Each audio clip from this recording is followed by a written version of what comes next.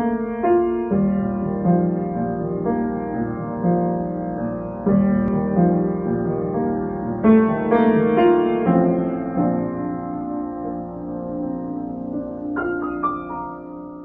music for En Mi was written over a period of around two months.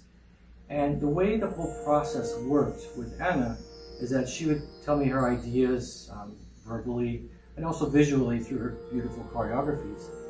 Uh, and then I'd start improvising music to them and I'd share my ideas with her. And then once we had something that kind of suited what she was looking for, I would develop that idea. Um, one of the pieces that is really special to me is Mi Mundo.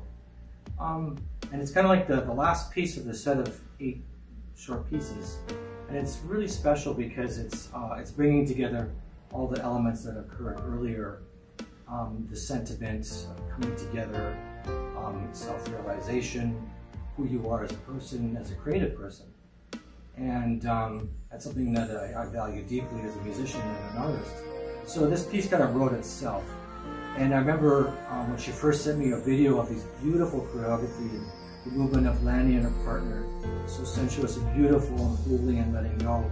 I wanted the music to, to portray that element of it. And so I just let it happen.